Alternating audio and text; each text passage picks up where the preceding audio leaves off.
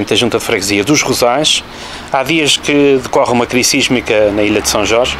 A Junta de Freguesia dos Rosais está preparada e em articulação com os serviços de proteção civil para esta situação?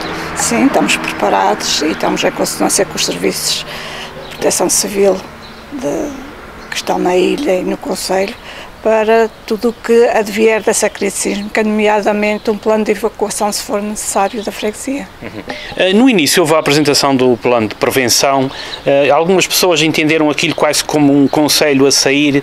Houve muita gente a sair aqui da freguesia dos Rosais no, no início desta crise?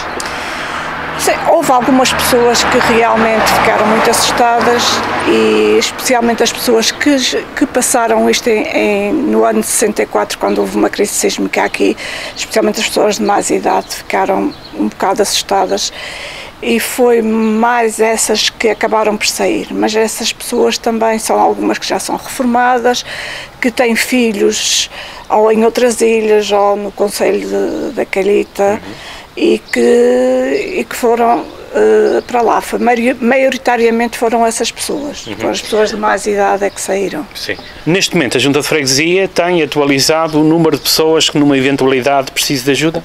Sim, sim. Nós temos uh, uma listagem das pessoas que necessitam, nomeadamente de transporte em caso de evacuação.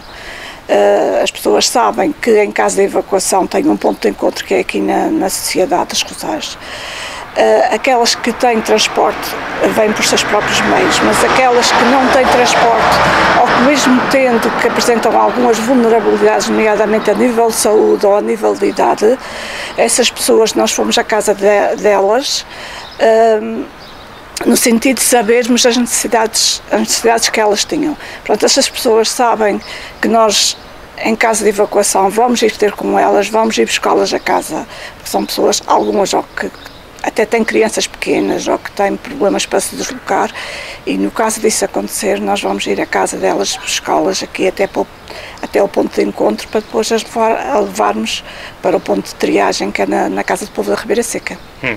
Então, digamos que a Junta de Freguesia, neste caso como Presidente, eh, nesta data pode dizer que está tudo organizado uh, para uma evacuação que espera não acontecer, é isso? Sim, nós, nós tentamos estar preparados para o pior e esperar que venha o melhor. Uh, com certeza que se isso acontecer não vai ser tudo perfeito, porque Sim porque é isso que vai acontecer, mas que estamos preparados para isso, estamos.